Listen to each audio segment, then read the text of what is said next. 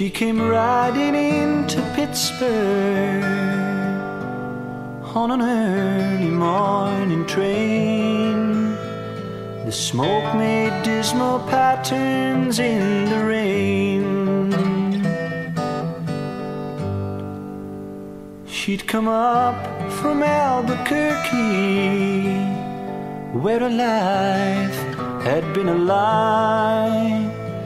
And Pittsburgh seemed the only place to fly.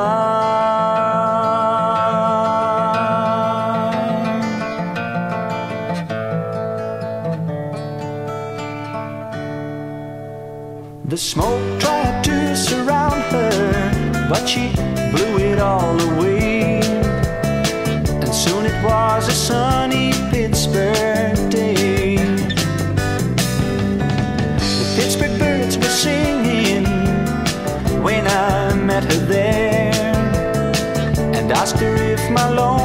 life she'd share.